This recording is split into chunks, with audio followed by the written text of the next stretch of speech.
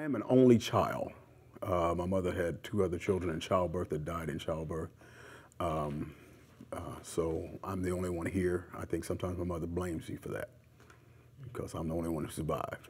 It's a problem. Sometimes it, it comes across as a problem. Um, my father uh, was the first African American salesperson at IBM, not Cory Booker's dad. I have, I have proof of that. I always get upset when I hear him say that. Um, my mother was a uh, trailblazer, one of the people that was sent in to uh, make a difference when she walked in the door. She's 86 years old now, but uh, she was she speaks Russian or does Russian. I don't know if she speaks it anymore, but she she she worked at Battelle Memorial Institute.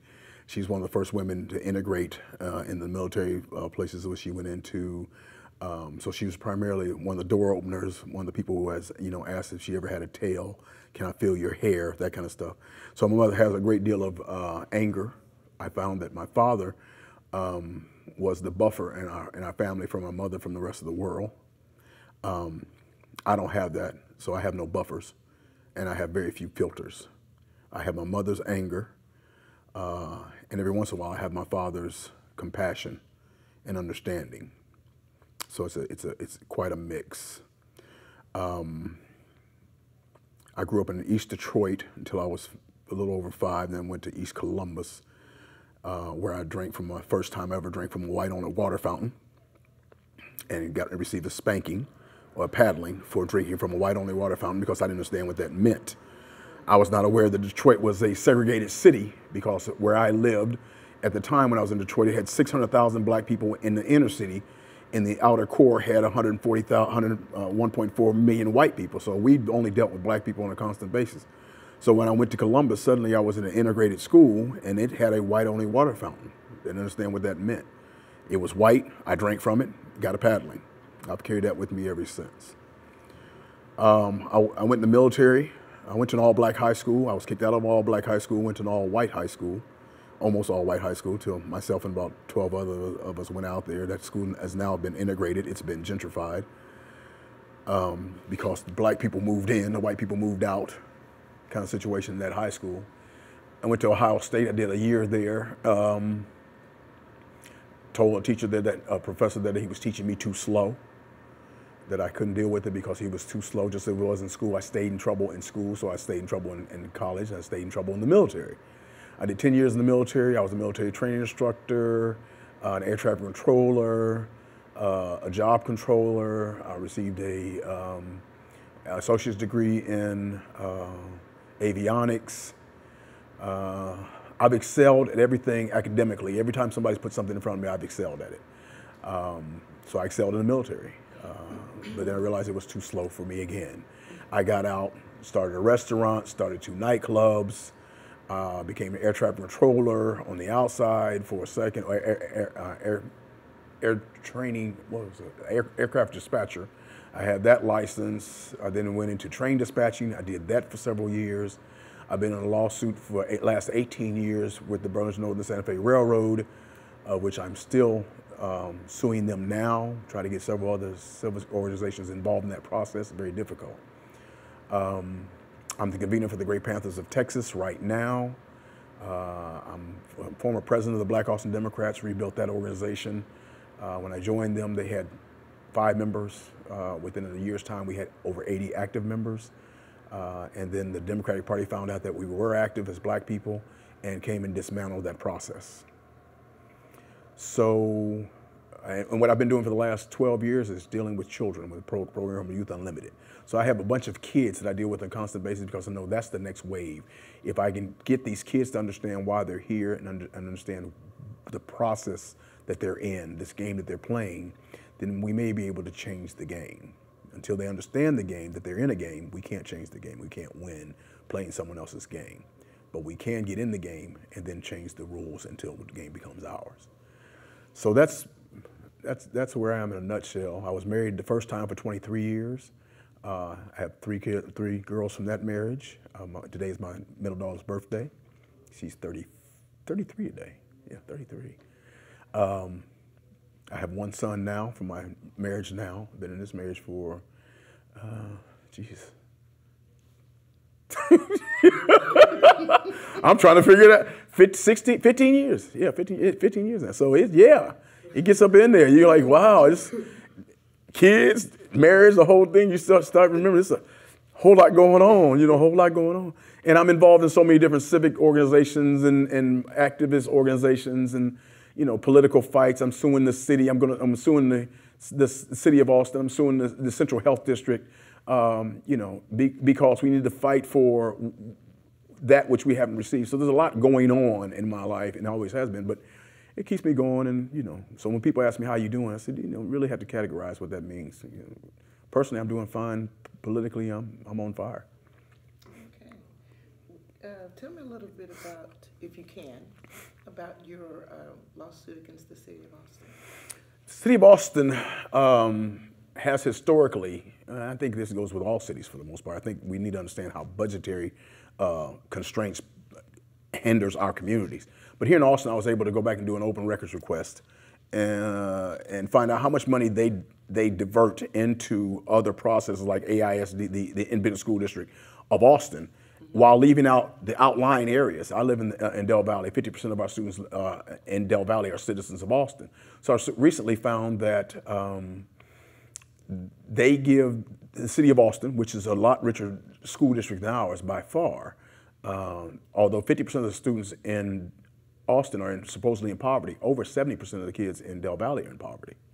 So you start looking at the numbers and also the amount of minorities that are in Del Valle. Del Valle is 95% global majority, 95%, uh, over 89% free and reduced lunch. So we've got massive amount of need that they were diverting money from the city budget into Austin's independent school district to the tune of $3.9 million one year and 4.6 million dollars another year. At the same time, they were giving Del Valle $747 and $3,900. So the poor people of Austin that go to Del Valle are supporting the richer district.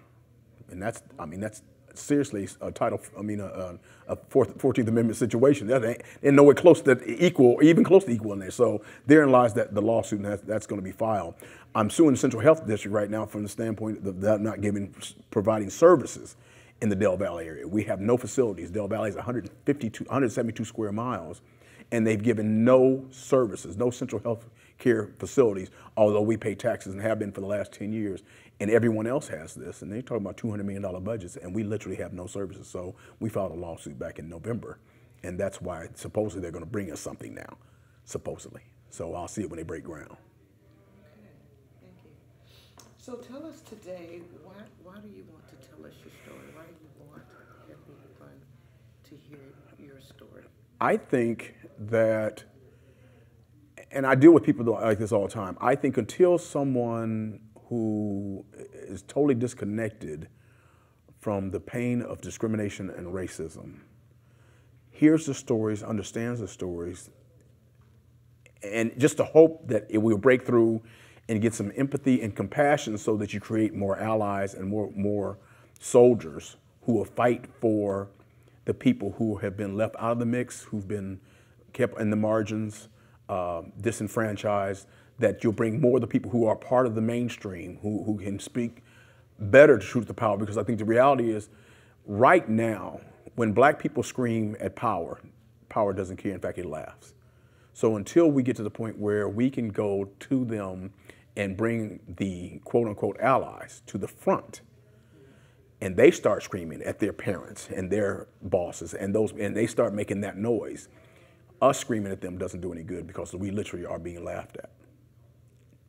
And I, that, that, I'm hoping that this, that this process will create the stories that create the empathy and compassion and the outrage that should happen so that people get on the front lines and, and start talking about what sacrifice actually means. Because every day I'm sacrificing something by living in America. Okay. So can you share with us, or will you share with us, a story uh, of your personal experience as it relates to being put in a situation of racial discrimination? I, and, it, and it, even that's hard. Like I said, I, I got a paddling in fifth grade. I mean, as a five-year-old, a six-year-old, I got a paddling. So how do you how, how do I as a six year old process just wanting water?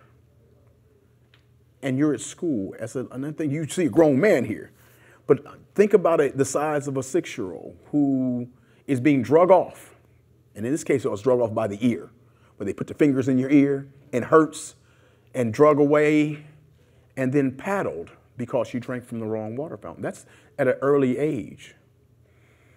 But as you, as you go along, and I've sued several companies behind the, pro the process of being discriminated against. And you have to understand, we have to prove. The reality is, we know that discrimination exists, but you have to prove that discrimination happened to you. And then have someone talk, tell you that, oh, well, we'll, we'll, we'll pay you off to go away, but we won't stop the discrimination. In the case of where I am right now with Burlington and the Santa Fe Railroad,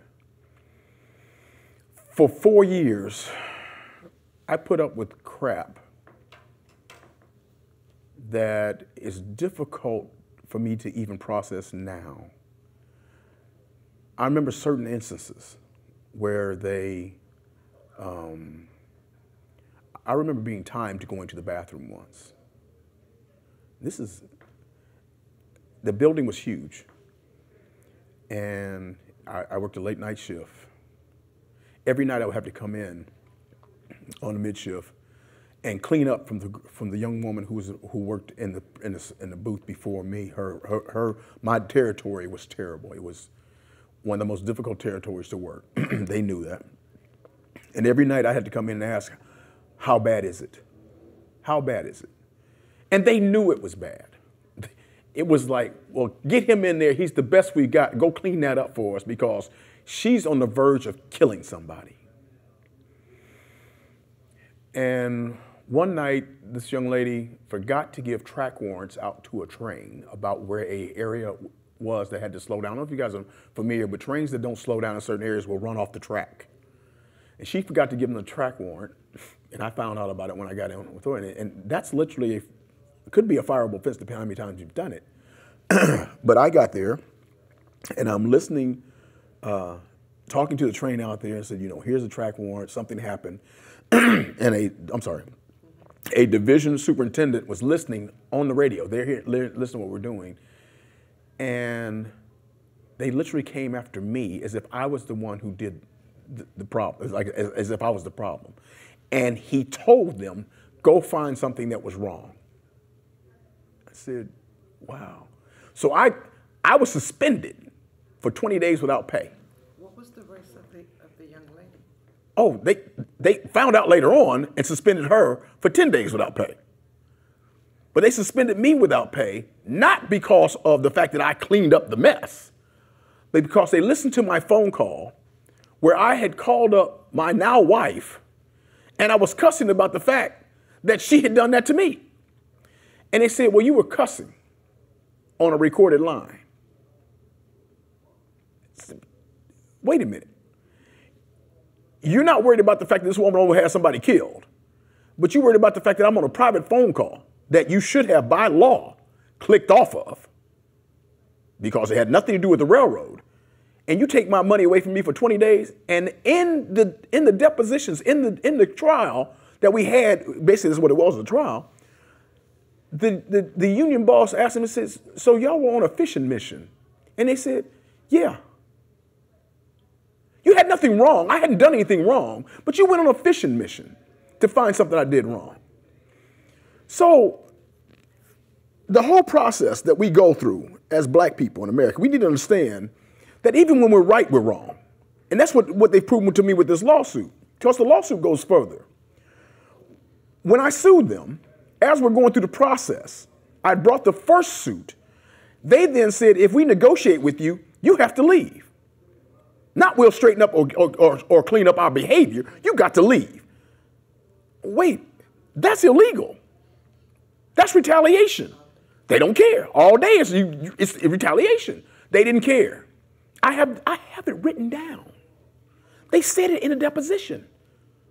They showed it to this. This is what we said. It's textbook retaliation. Okay.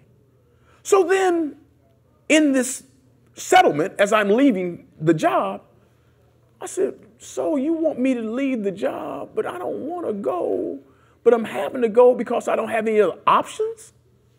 Well, I'm not going to sign something that says I can't come back to work. The only reason I was thinking about coming back to work was because my wife at the time was a um, director. Well, at the time she was a manager of a reservation center in San Antonio, and I knew a possibility she might get promoted and move to Dallas. I said, well, I always want the option of coming back once y'all clean up your act, and I'll come back here and go back to work. Well, that wasn't part of the agreement. It also wasn't part of the agreement that I would never do it. They just wanted me out. So in the agreement, it says I, re- I would retire. And I signed the agreement. Oh, I'm, I'm sorry, I did not sign the agreement. It was read into the record. There is no signed agreement.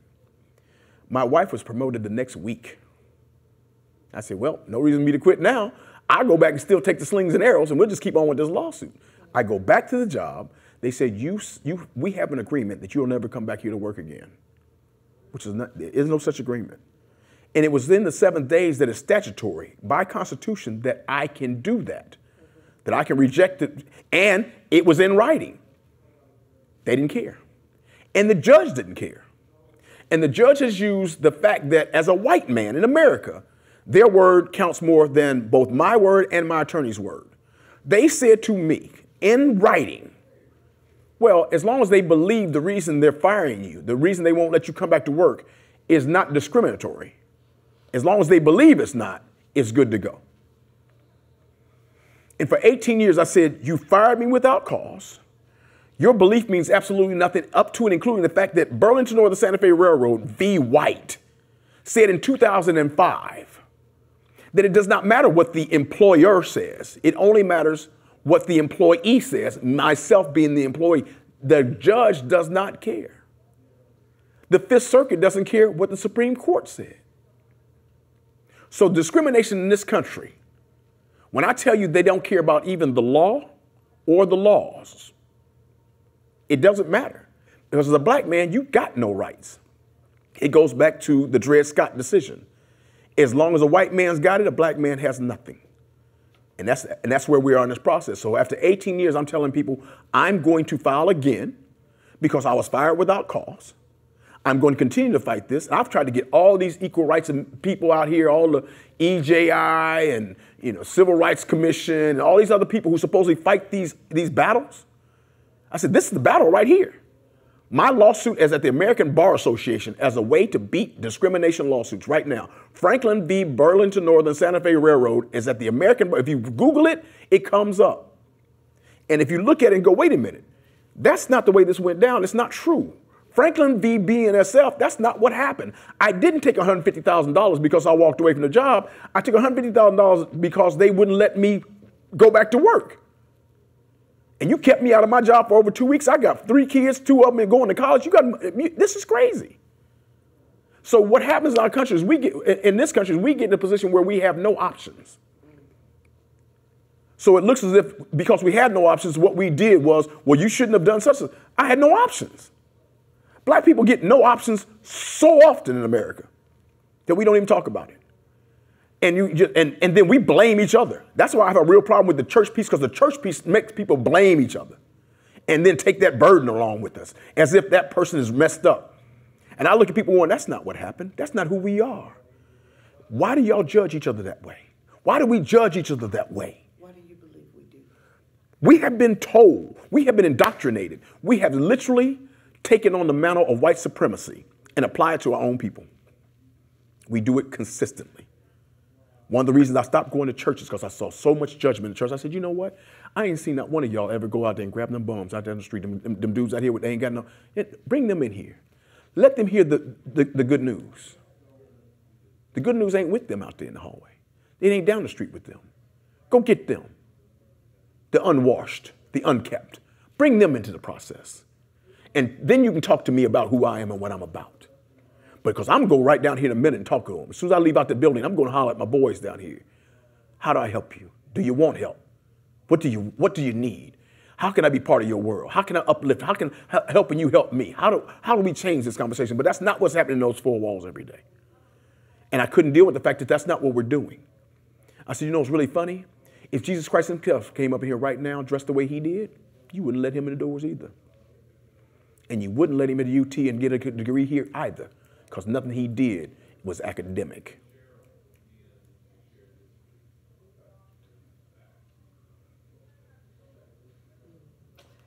Okay. You may sense a, little bit of anger here. It's a lot of anger. It's a lot of anger because I've been feeling this for so long for so many people that people are mad at me. And I said, you know what? If I'm, I'm making you mad, I'm probably doing the right thing. Because as I remember, y'all hung Jesus Christ on a cross because he was telling y'all to change.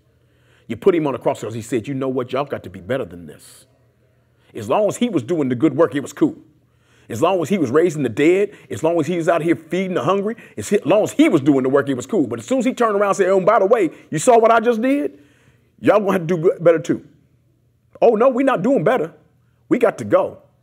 And I'm like, I don't understand how you don't understand that what we're being called to do is better by each other. And as soon as you say that to somebody, look at who do you think you are? And that's what I've been getting. Who you think you are? I said, I'm just like you. I just want us to be better. I want me to be better. I want you to be better. I want us to be better. And I know we are. And when I do that with children in my program, they get it. So I only deal with children because I realize adults, we are jacked. We can't change. We refuse to change. But them kids, they we got still got hope. New hope. Old hope. I got hope. Greater hope.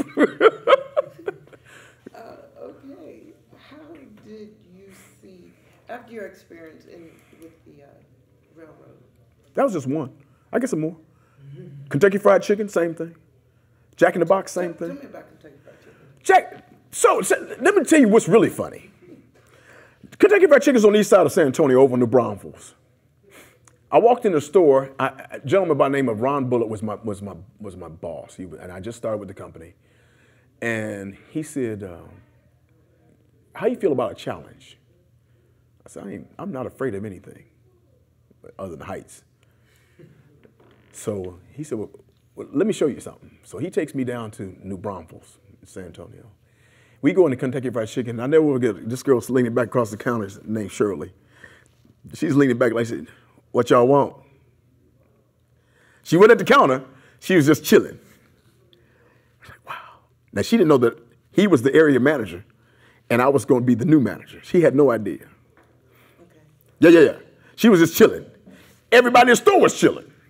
It was some of the slowest service you ever want to see in your life. Chicken was old, coleslaw was outdated. It was toe up. KFC, KFC. KFC on the Braunfels. New Braunfels and and, MLK. You know, it used to be uh, around away from there. It used to be a, Chinese restaurant. They closed it up. I know you know. I was there. I was there for four years. I was the stuff for four years. I, I blew it up for four years. Seriously. For four years, we took we we smoked everybody. But before I got in the store as the manager, the store was tore up. I mean, it was filthy. Floor had it was dirty, it was filthy, and the people in there act like they wa- wanted to be part of that process. He said, "I'm gonna put you down here as the manager." I said, "But you got two managers down here already." He said, "Yeah, I know. Mary's down here, and John's got to go. We send managers down here to be fired." Wow. Well, how did that make you feel? I don't care. You? You don't tell me, I tell you. I don't care. Because my people are better than this. He said, You ready for a challenge? I said, I'm good to go. So I walked in the door and he, he made me the assistant manager. I'm underneath Mary and John. I said, We need to have a team meeting. He said, Okay. Team meeting. Let's let's we're gonna have one Sunday. Let's let's do this piece. So everybody shows up early. We show up on Sunday and John spoke. He's a drunk. John Hartfield, never forget it. Mary spoke. She was tore up. And they did their same old thing, you know what they do, rah rah, blah blah blah blah.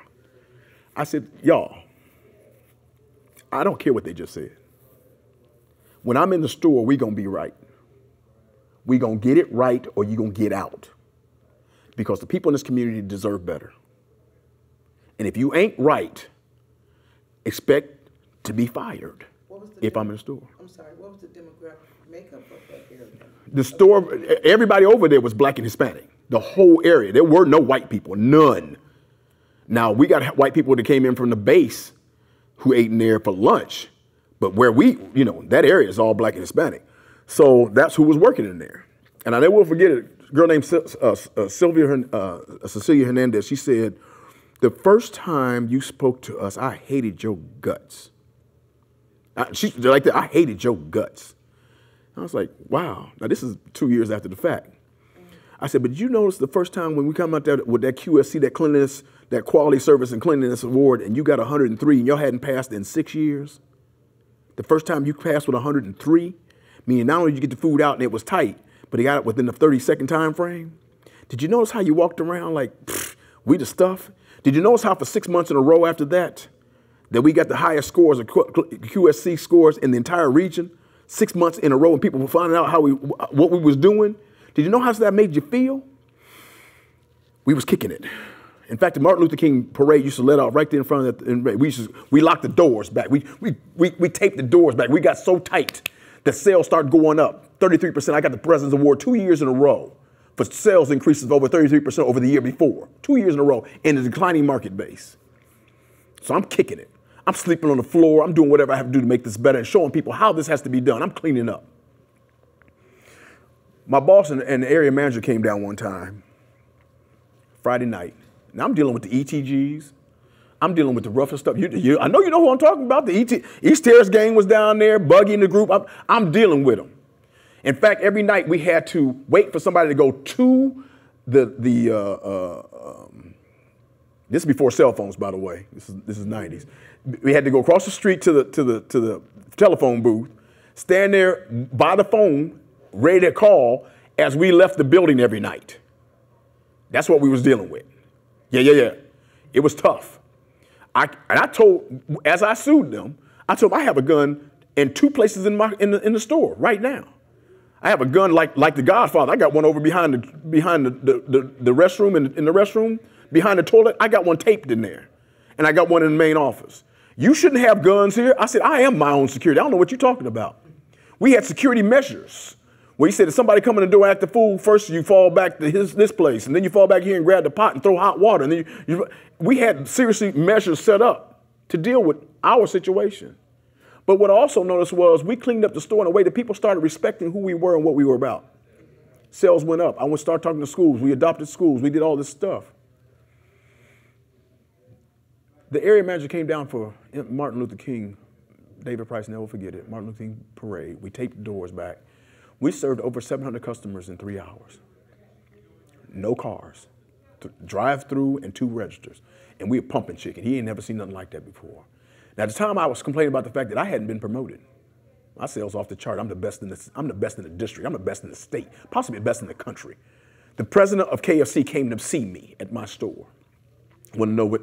And then then they sent the people in to start investigating what was going on. And one woman said, you know, they're never going to uh, promote you out of here.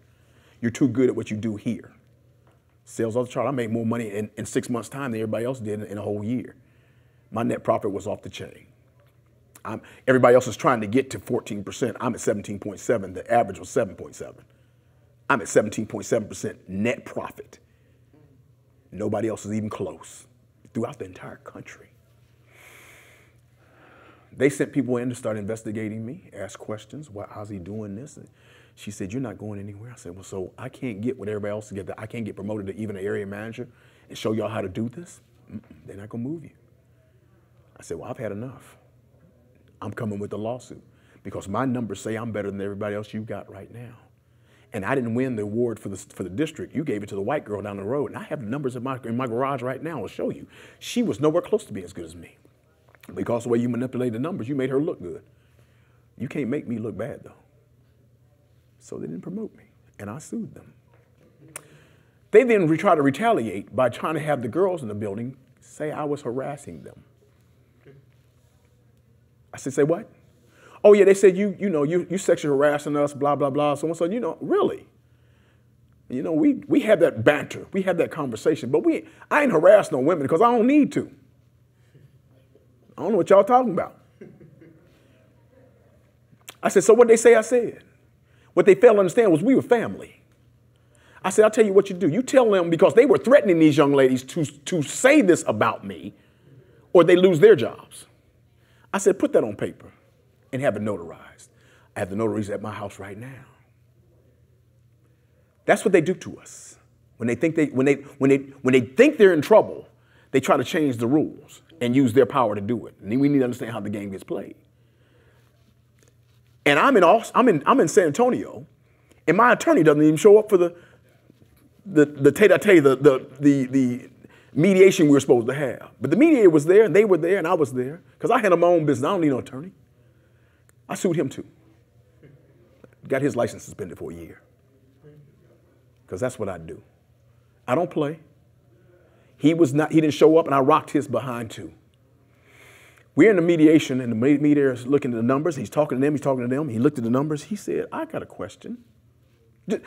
Out of character, I got a question. If he's doing this, why are you trying to fire him and not put him out on the road and show everybody else how to do this? They had no answers. And I tell people this all the time white folks would cut off their nose to keep a black man from getting ahead. They've done it before. Even when they know it would help them, they don't want you to be number one. That ain't the first time it's happened to me. Same thing happened to Raymond James. I was Raymond James as a financial advisor. Same, exact same thing happened. I'm shutting down a $27.5 million deal. I'm about to roll it over. I'm four days away from rolling over the best deal, the biggest deal they're gonna have. I'm gonna be number one on the floor. In fact, I need that corner office. I done told them. I'm gonna need that corner office when this is done. And they fired me. They said, you took too long. You took, we don't believe gonna get the deal. They thought they was gonna be able to walk in the door and close the deal out. Because the deal was done where they were gonna fly down to, to Raymond James uh, headquarters in, in, Tampa Bay and have the, you know, the dog and pony show where they show you how wonderful they are and everything they do. And we have a 97% close rate when we are able to take the clients to Raymond James and show them what we're about. Yes. Raymond James? Is a financial institute. They're actually the, the biggest uh, financial advisors for the football, for NFL. They're the, the, the, football guys. So Raymond James Stadium is where the Tampa Bay Buccaneers play. Okay. So we're at Raymond James in Tampa Bay. They're gonna take we're gonna show we're gonna take this this large law firm down there and show them the dog and pony, and they got a $27.5 million deal to roll over. And I'm about that far from rolling over. It's taking me about four months to put this deal together. It's taking too long. But if I get it rolled over, I'm gonna be the number one salesperson on the floor. Gonna have 1,200 clients all in a law firm, and I'm gonna get $270,000 on this rollover to my pocket.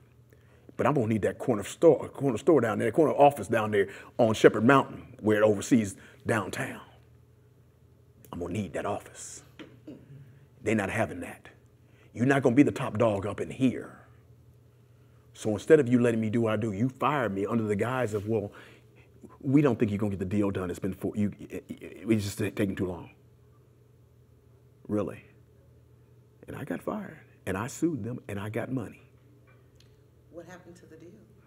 Oh, they thought they they thought they were gonna close up and, and call up the people I had to. The, the, they called me and yo, I'm no longer at Raymond James. Yeah, y'all can close that deal down. Click. Don't be stupid. The deal was behind the relationship, not what y'all are doing. They didn't care about Raymond James. They cared about the fact that I had gone out and played something. I don't even play golf. I'm out here golfing with these clowns, drinking, drinking whiskey and, and smoking cigars. I don't do either one. but to get this deal, I'm gonna be a whiskey drinking, cigar smoking somebody, because that's part of the game. And that's what happens. They cut off their nose, a $27 million deal, 1,200 new clients coming in, and you close off that deal to make sure I didn't get it so that you didn't have to worry about me being the number one dog on, on the floor this year. I understand. They hurt themselves. And by the way, they were both got fired within a year. The two gentlemen who fired me were both gone within a year's time. You cannot run free as long as you're blocking the door from me. You can't go nowhere as long as you got your foot on my neck. You can't run either, fool. Okay. Um, so after these, I mean, you've had many experiences. Oh, more you know. I can't, I, because I, I, I know I've had these experiences. Because my father told me, son, you're that person. You're always going to have this issue because you refuse to allow authority to just be authority. I challenge authority. Where does your authority come from? I was to say something downtown. We were talking about this conversation today. My issue right now is we're talking about education without understanding what education really means. We, you know, the fact that we denigrate people who don't have college degrees, the fact that we look down on people. I said, Jesus Christ didn't have no college degree. How do y'all go, how you gonna judge me when the first person that got a PhD got it from somebody who didn't have one? That makes no sense. I'm in a car that's driving down the road and the car breaks down. I'm not looking for a dentist. I'm looking for a mechanic. Everybody has a value. And when I get out here in this world and I start talking about the fact that I have a value and I'm not, not going to let you take away from my value, the people who think they are valued more than me get upset by that. And by the way, that's not just a black thing or a white thing. That's a power structure thing, and those who support that power structure. And it, to me, the reason we have the problem we have right now is we refuse to approach the power structure and saying your power structure is hurting the majority of people in this country, in this world. The way you have the power structure set up needs to be addressed from the standpoint of everything. Every institution needs to be questioned. Every structure needs to be questioned. Why do you exist? And what have you done to make sure that you lift up mankind through that existence? And we don't do that. We don't want to do that because the existence of this structure helps me be who I am. We, we identify with that and not with each other. So it's always going to be a problem. So how have your experiences allowed you to deal with others, uh, whether personal or business? Or? Um, it depends on the situation. Um, I've been quite successful in some things. Uh, I probably could have made my personal life a lot easier if I wanted to. But the struggle keeps me going because I realize that once I get comfortable, people are going to suffer and somebody's got to fight for them. So I've made people mad who've come back to my way of thinking. I've made people right here at UT mad who've come back to my way of thinking 10 years later, right here at UT. Can you please explain that? I've called people on the nonsense of them saying, well, we just have to do our thing and we can write somebody a check. And I, and I keep saying, it's not the money that's the issue at the end of the day, it's the relationship, it's what you do with the money. But it happened because I was at one of these My Brother Keepers conversations.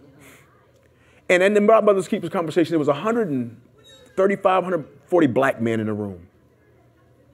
And during that conversation, they had two young black men who stood up and told, said at the time, we have, uh, let me tell you my story.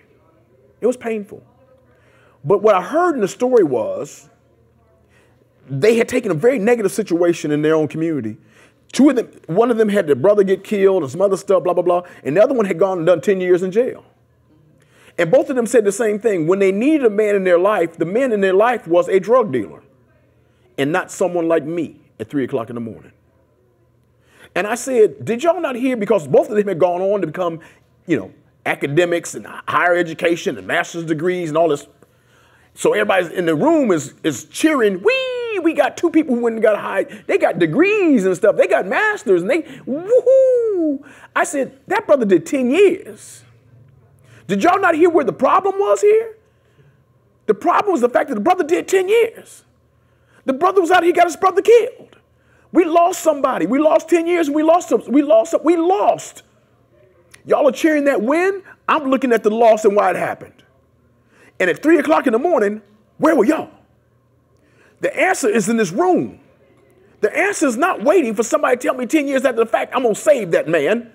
The answer is at three o'clock in the morning. Can he knock on your door? Can he call your phone and say, say, man, I need some advice? I need some help. Because at three o'clock in the morning, that's what I'm writing in my book right now. Is at three o'clock in the morning, Michael Sterling called my house. Said, Mr. Franklin, I'm about to be a daddy. I said, I know you hate your daddy though, right? What kind of man you gonna be? At three o'clock in the morning, I said, Michael Sterling, what kind of man you gonna be now?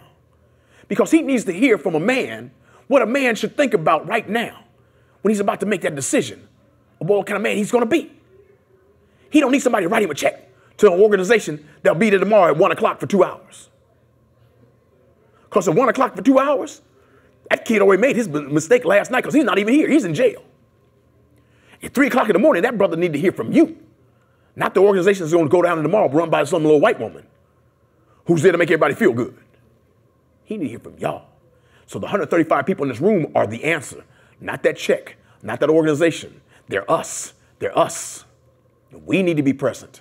And we need to stop dropping our bucket in somebody else's community and get back to where we were. I said, How many of y'all willing to sacrifice to help these kids? And I say, Sacrifice. I'm mean, how much you willing to sacrifice? And look at me all funny. I said, How many y'all live in the neighborhoods where all these problems are happening? How many y'all live in my neighborhood? I've had money. I didn't move. I know people who had money. And the first thing y'all do when y'all get a little bit of money is you go somewhere else. You take your talents and skills somewhere else. so some other community gets your talents and skills, and your talents and skills are your children, because you know your children do well because you're their parents. My son had an opportunity to go to St. Stephen's. They recruited my kid. He plays golf. He's real good and good looking kid. He's smart. He's on national debate teams and all kinds of stuff. You know who he's giving that talent to? Del Valle, where we're poor. And they just see this kid right there who plays golf, so he can go tell the eighth grader I talked to yesterday how to play golf. He takes his talent and skills and give it to somebody else, son, because that's how it's done. Don't take your talents and skills and give them to somebody else. Bring it back to the community and enhance who we are. Oh, oh you don't understand. I said, I don't understand. I'm in the community with, with a bunch of kids who need you. I definitely understand. But you're looking out for you. I got that. I'm glad your kid got a nice scholarship. Is it possible your kid could have taken two or three other kids with them when they got that scholarship? So my issue comes down to the fact that there are people eh, that, that look like me who get upset by the fact that I call them on the nonsense. Because the reason we sold, the reason I have a problem with, with, with DuBose is because DuBose didn't tell the talented 10th what the talented 10th actually was. The talented 10th means the 10th, 10% uh, of y'all who are not suffering can go back and tell the other 90% how to not suffer. Not just the talented 10th who go get an education at a UT or whatever the university might be. That talented 10th, that, that's not what I'm talking about. I'm talking about the talented 10th that go ahead and show me how to build a, a shed, how to fix a lawnmower, how to help a person pass mental health issues, how to cook a meal. The talented 10th is whoever got talent in our community, bring that 10% over here and give it to somebody else and show them how to lift up each other. When we gonna do that? And they look at me like I'm crazy when I say it. I'm like, I, am okay with that. Y'all put Jesus Christ on the cross when he told y'all the truth. I'm good with it.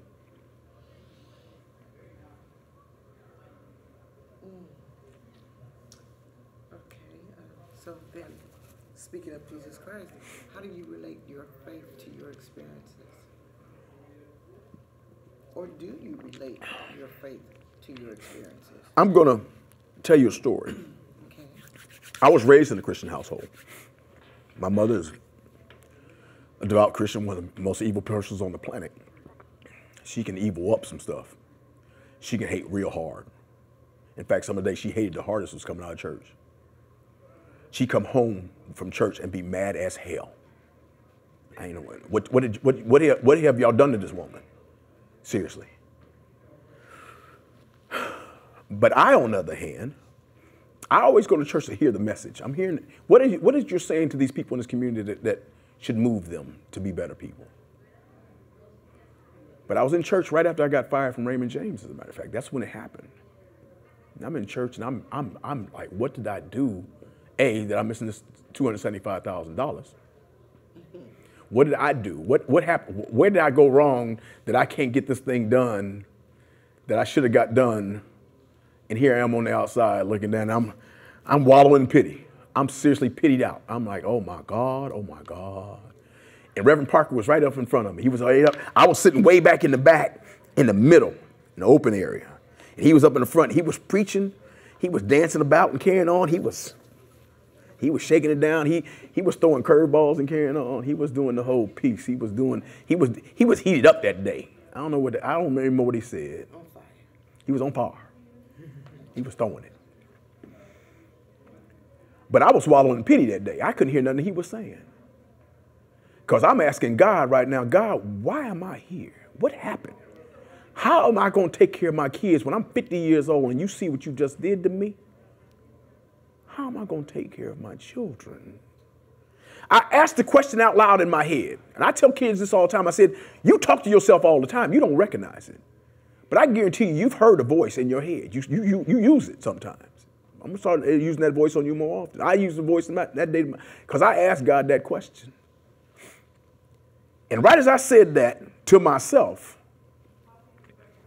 there's a little baby in one of them rockers with the handle that folds up like that, and she'd been sleeping. The lady was you know, nice looking girl right here, and she had the baby, and she was rocking. The baby was doing like this, and right as I said the words, that baby like this, and looked at me.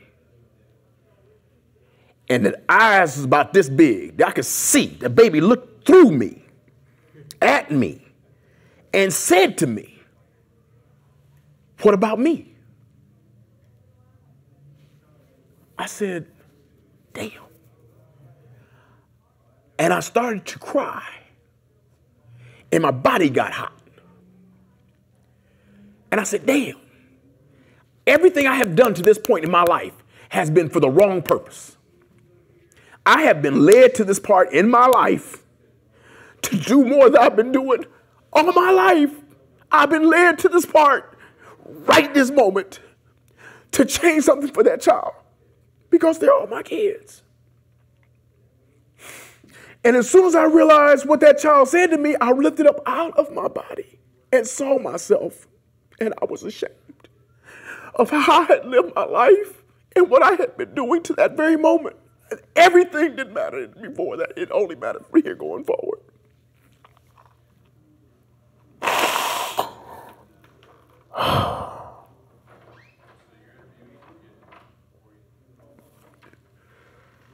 And I saw this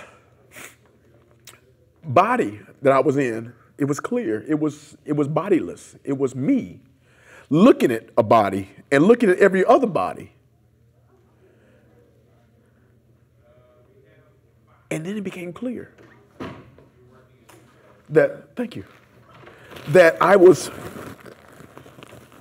that I that we had a we were misunderstanding. We everything in the room was touching. It was like the Matrix. Everything in the room was moving and touching at the same time. The floor, the sofas, the, the chairs, the people, the lights, the air. I could see everything like it was touching and moving and realized it's all the same. It's all God given. This is God in the room. This is all it was all about. I got to make sure I do the right thing by this child no matter what. No matter what. I got to sacrifice myself because if I hurt this child, I hurt me. And that's what happened. So I told Reverend Parker at a Democratic convention, I stopped being a Christian in your church. Because I realized the God that y'all talk about is your God. It's a God y'all don't put in a book. It's a God you didn't put in your head. And the God that I know is so much larger and powerful than anything you guys can imagine. That you can't imagine it until you feel it. It's not something you know, it's something you feel. It is love. It's, it's, it's sacrificial love. That there is no death, there is only love. And the energy that that creates. And when you realize that, you can do anything. You're not afraid anymore. So I am fearless. I cannot be killed because there is no death. There is only love, and God is love. And when you realize that, you can go and take anything on because you are not afraid anymore. I talk to my kids about fear. What are you afraid of? And they go, I don't know, but you're afraid. You don't know where the fear is.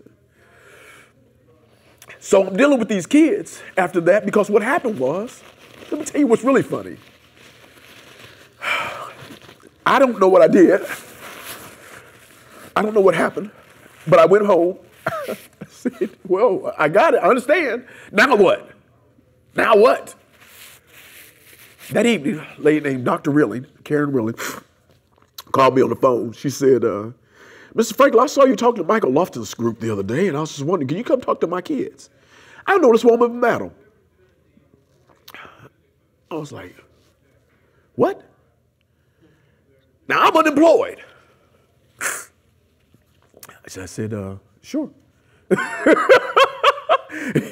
this must this must be it.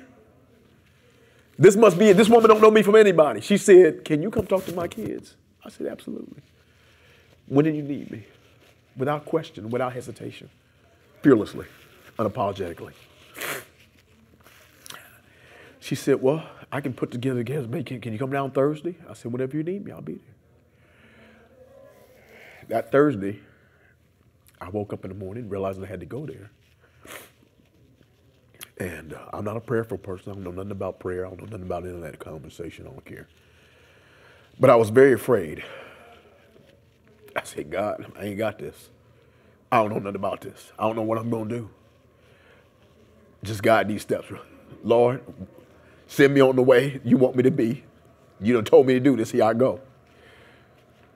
And uh, I'm heading out that day about one o'clock to go talk to the kids. I'm in my little Corolla. I'm heading down there, and I panicked about halfway down to the school, coming to middle school. I'm panicking. She said, I said to myself, uh, God, I don't know what to say to these kids. They should have said, come talk to these kids. I don't know what to say to these kids. You better give me something to say.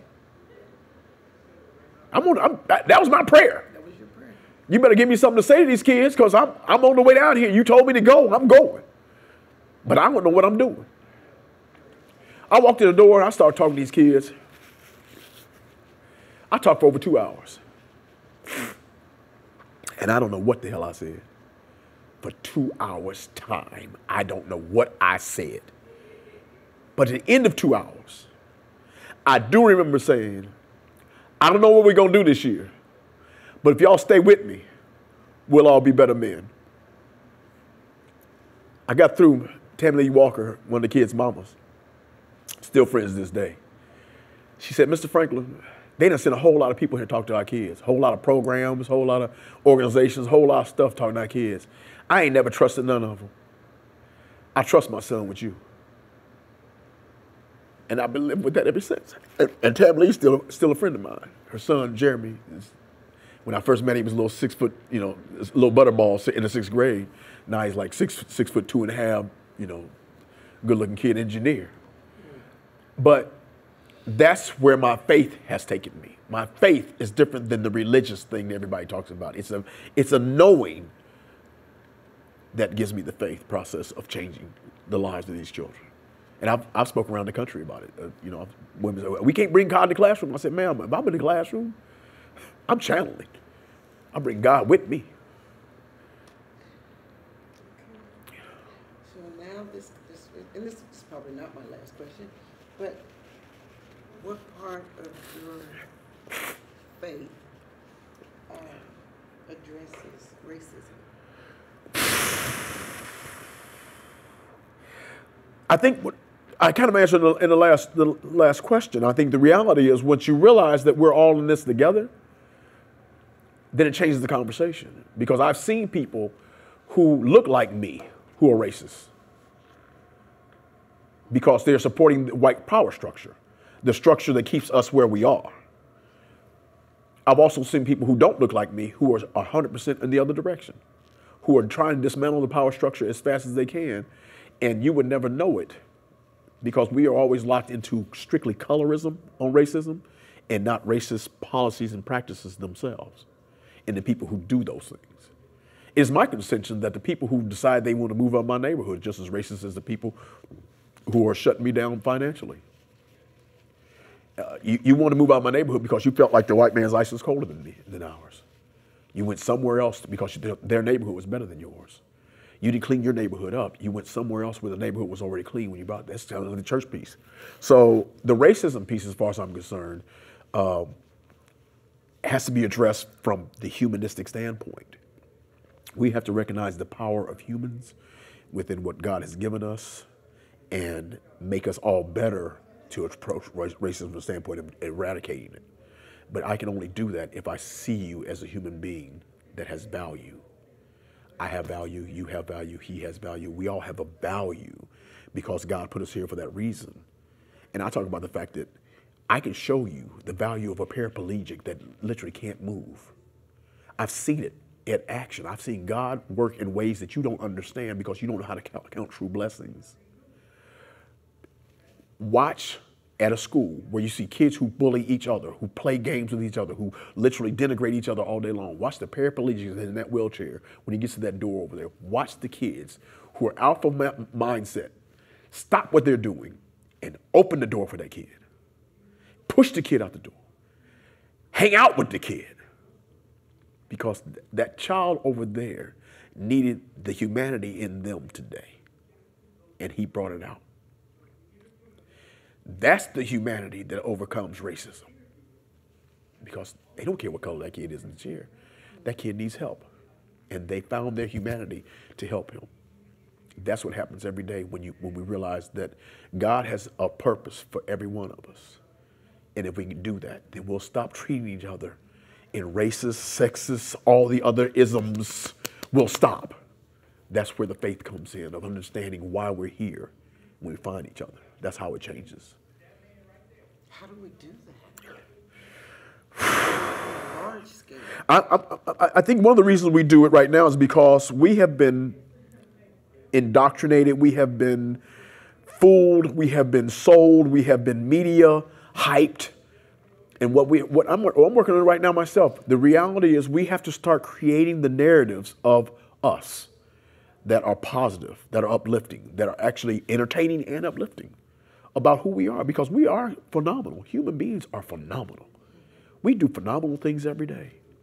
But we don't tell that story because if it if it bleeds, it leads is the conversation. We always want to sensationalize and, and denigrate. We'd rather see the train wreck than the aerobatic process of an airplane. Ooh, someone died. Yeah, but look what they just did with that airplane. You know, it's watch, watch the juggler. You know, we, we don't see the phenomenal dancer, the, the, the person who can sing. Look at that painting. We don't see the beauty in each other, but we can see the negative piece, and that's what we focus on because we think that's not as much fun. We don't see as, we don't see the fun in each other. We undo it by creating the narrative that changes all that. Because the reality is, we really do like seeing beauty. We like seeing we like seeing great things. But until we start promoting that, seeing there's money in that, it's like uh, I'm loving the Black Panther movie. Did y'all finally see a black king? But the fact that we had to kill another black king to make it happen kind of bothers me. We didn't have to kill him.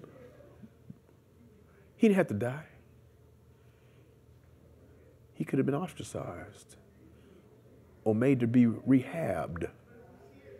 He didn't have to die. We don't have to kill each other when we're wrong. We don't have to kill each other.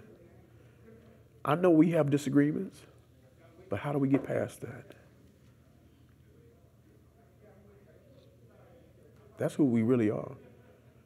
But my brothers, and I got news for you. I've been cutting, I've been sliced and diced by a bunch of brothers.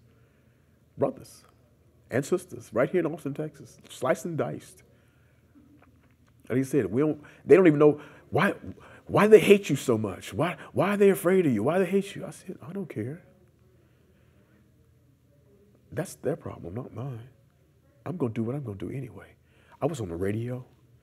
I had a radio program with KAZI. They took me off, had a large following. If you don't mind my Yeah. asking, which program was that? I was a, a Thursday morning DJ. I, I was a, on the Thursday morning program. Uh, they do Thursday morning, you know, the conversations early in the morning. Um, Kenneth Thompson was a, was a, was a partner of mine. Uh, um, I've I've done a little bit of everything. You know, I said no. Rest Richard Smith talking crazy on thir- on Fridays. I'm Richard Franklin on, on on Thursdays. I said I'm the one who actually interviewed, you know, uh, the guy from the Miami Herald. I had an opportunity to, and here's the funny part: when they closed the radio station down in 2007, I had an opportunity to, to interview Barack Obama before he was president. I had him lined up, and they didn't even know it. So you shut me down, and I shut that down, dummies. That's what we do to each other. We don't recognize the power of someone else because we are so locked up in our own egotistical nonsense that someone who can do us some good, we don't even want that. We want to protect where we are. So the racism, as we understand it, it doesn't exist just in black against Oh no. white against Hispanic. It's every, it's racism within the race. Right. That is perpetuated continuously to keep and this is just my thought, Yeah. it, it, that's keeping the other people up here Right. in power. Well, And, and, and, and, here's the funny, so you understand, eh, so you, so you understand, because I go, my, my life is way more complicated than anybody you've ever met. I've dealt with the Fortune 500 people in the, in the country. I, I came down, my wife got promoted. My first wife got promoted because I was friends with, with, with the president of, of Southwest Airlines. The chairman of the board, Herb Kelleher, and I, were, we, we were good friends. Just happenstance. I used to hang out with Martin Frost from Frost Bank. Happenstance. Just, just happened to meet these people, just because that's who I am. That's what I do. I'm, I network. So I'm here, and I talked to a gentleman by the name of Pike Powers. He used to, used to be chief of staff for J.J. Pickle. He was also the congressman uh, where Lloyd Doggett sits now for a while. But he's, he was running the show here for, for a second. He offered me a whole bunch of money one time. He didn't say the, the, the he didn't say the word money, but the, what he was offering me was, was quite lucrative. Okay, And I knew that as soon as he, I said yes to what he was saying, because at the time I hadn't pissed off anybody in Austin. This is early. This is like 2002, 2003. I hadn't, I hadn't stepped on everybody's toes yet. I, I hadn't hit the scene yet here in Austin, Texas. I had already done stuff in San Antonio and, and Fort Worth. I, but I hadn't acted a fool here yet. I was just getting my feet wet because I owned a night, uh, owned a, a restaurant here called the Wing Zone. That's why I, I moved here to, to, to, to cook chicken wings. Wing Zone 24 in San Gabriel. I built that. He offered me a whole bunch of money. But the first thing he said out of his mouth when, he, when we sat down to have coffee at uh, Starbucks on 6th in, in Congress, he said, What do you want? Now, I'm, I'm not as young as he thinks I am. I've been around, I know what, I know what that means. I said, Well, I'd like to see my community uplifted. And you could see the look on his face because it wasn't the normal, because if they understand, if power understands, see, we think it's just straight racism. No, racism is not just racism, it's also a matter of power. If power knows where your weakness is, what button to push, it will push that button for you. You know, I said, I want, a, uh, uh, I want a Maserati. He'd have got me a Maserati. If I'd have said, well, I want a whole bunch of money, he said, they got me a whole bunch of money. He said, well, you're a financial advisor. I said, yeah, I'm a financial advisor. He said, well, you know. When I said that, he said, well, let me show you something. I have the paper at the house right now. So it's on a yellow, he brought a yellow pad out in front of me. He started drawing up something for HT. He said, if you could make this happen, HT could be like the UT of, he was all excited. Oh, dude, he was got, he got, he got, he got manic about it. I still had the paper at the house. I said, man, that could be tight. He said, no, no, you're a financial advisor. I said, yes. You know, you can handle our accounts. Uh, I can introduce you to the COO of our accounts for Fulbright Jaworski over in, over in Houston. We only have about $325 million under management in our account. I just told you what a $27 million account looks like on a rollover. Mm-hmm. But I knew as soon as I said that, I am now his boy. And he was going to ask me to sell out the entire community. Now, let me tell you what's funny in retrospect. The community's already been sold out. Since that happened 15 years ago, and I look at what's happening in the east side of Austin, I should have taken the money. I should have taken the $3.2 million they would have put in my pocket, plus the almost $500,000 they would have put in my pocket every year after that.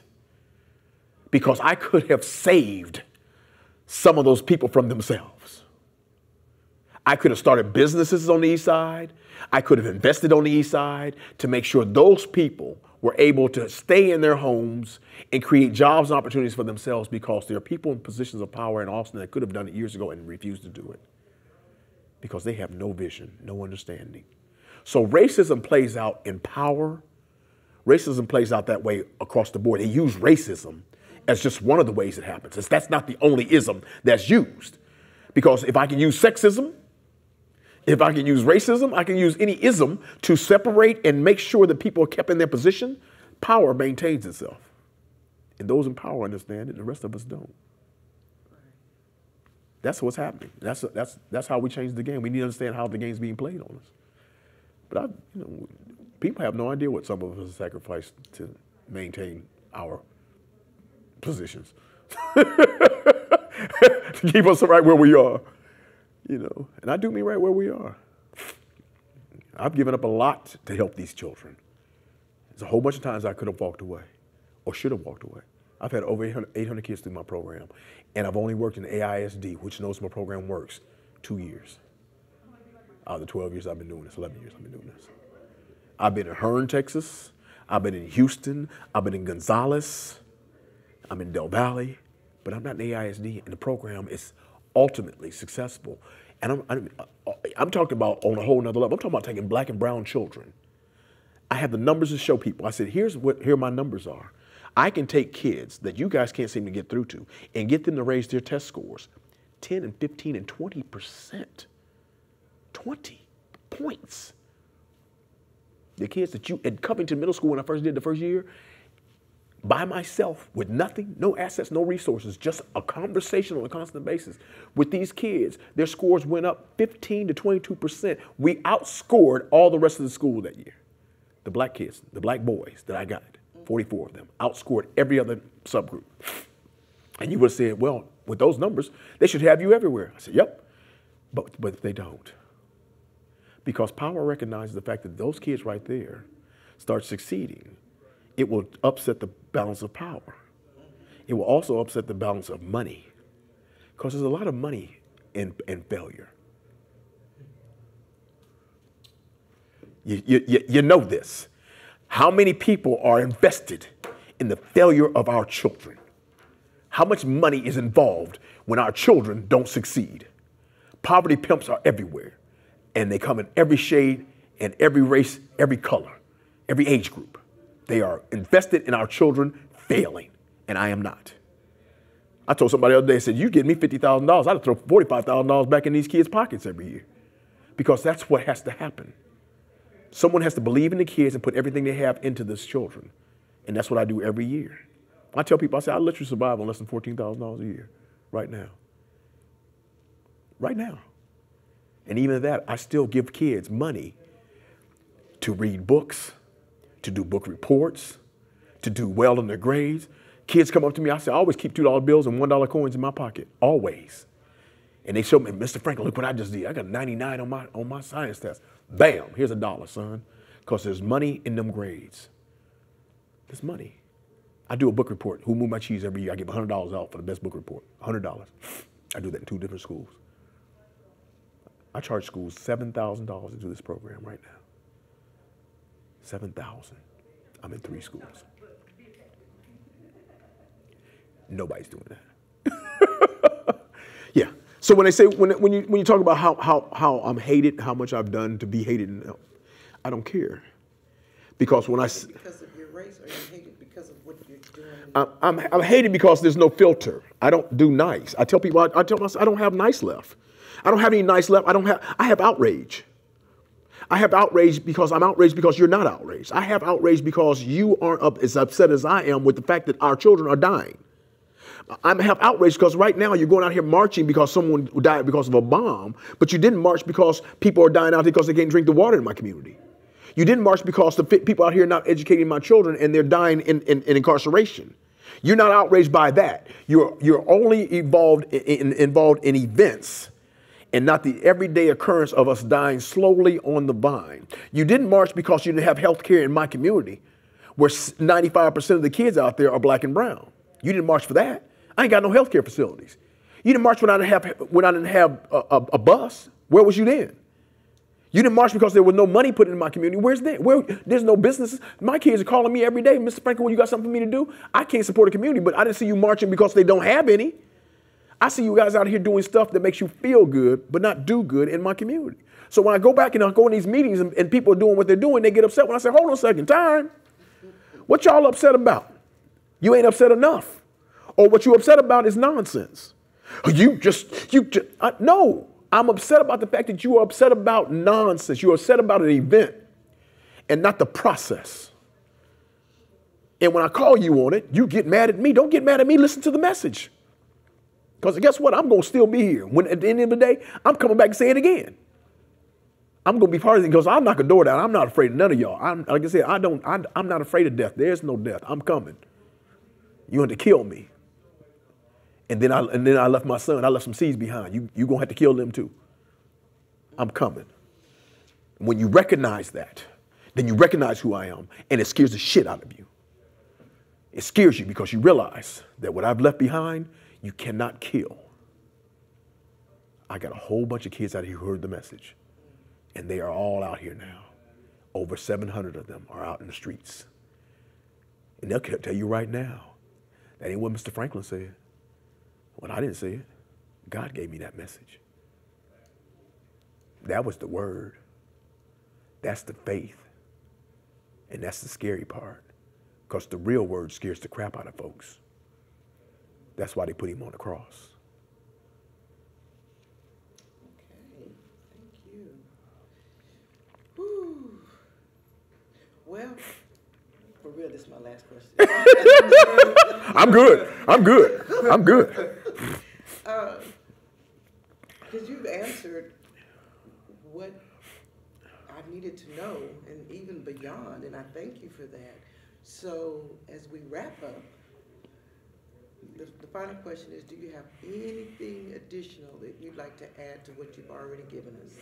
No, I just I'm I'm I'm I'm so happy that Steve is doing this. I'm so happy that we're actually having an opportunity to speak about. And I hope that you get enough people in here to take the varnish off, because I was hoping some of my friends from UT that some of the precursors would come in and talk about it on a whole nother level. In fact, I probably need to call one of them.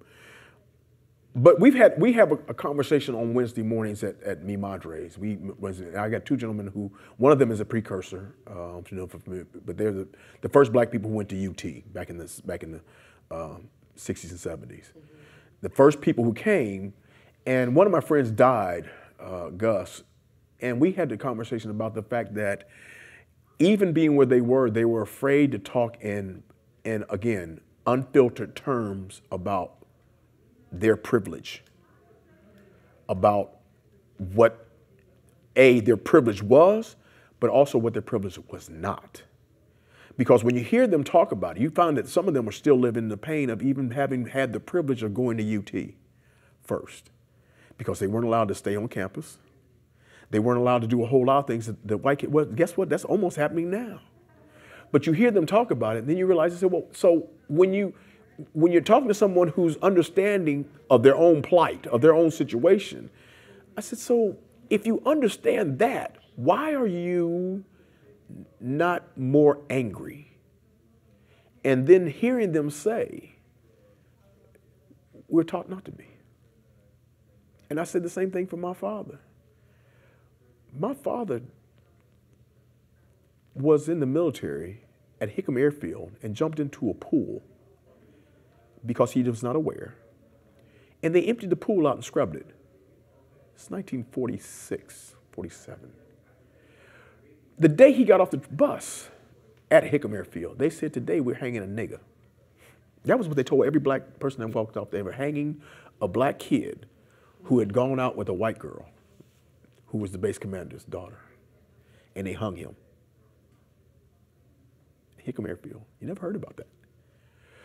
So I realized that what we've gone through in our lives, and one of the problems we have right now is a lot of people are afraid to show that they're hurt and angry because we've been told that we can't let anybody know that we're hurt and angry. So we have tacitly allowed for and signed off on the behaviors that have caused us the pain. And I tell people now, and I'm gonna leave you with this I am no longer going to act civilly until you treat me civilly. Don't expect me to walk in the door and not speak in loud, angry tones until you do something that makes me not angry and no longer loud about it. Then we can get real.